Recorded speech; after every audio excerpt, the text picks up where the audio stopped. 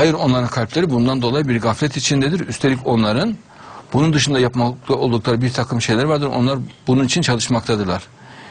Nihayet onların refahtan şımaran önde gelenlerini azap bile yakalayadığımız zaman onlar hemen feryadı basacaklar.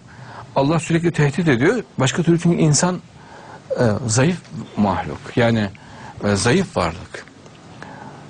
Mahluk demeyeyim Allah affetsin. Zayıf varlık. E tehdit çok önemli oluyor. Yani cehennemle tehdit. Yoksa ya vefasız oluyor, ya sadakatsiz oluyor, ya şefkatsiz oluyor, yardımsever olmuyor, egoist, bencil oluyor.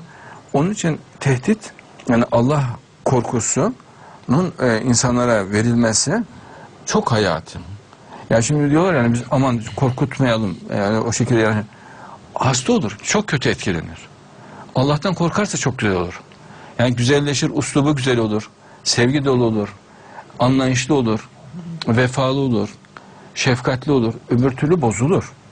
Yani ben diyor ki Allah'ı çok seviyorum değil mi? ama çok acayip egoist olur. Çok acımasız olur. Yani akıl almaz münasebetsizlikler yapabilir. Mutlaka Allah'tan korkması gerekir. Onun için Allah'tan Allah'tan korkmayı böyle anormal bir şey olarak görmek yani ne gerek hani Allah'ı severim Allah'tan niye korkalım demek çok yanlış olur. Hayatın bütün kalitesi, bütün güzelliği gider Allah korkusu giderse. Yani insanlar onun kafalarını pek tasarlayamıyorlar. Mesela akıl gider en başta. Akıllı olmak için mutlaka Allah'tan korkmaya ihtiyaç var.